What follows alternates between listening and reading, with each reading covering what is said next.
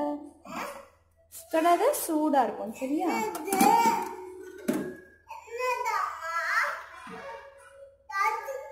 தொடாத சூடா இருக்கும். பணியாரமா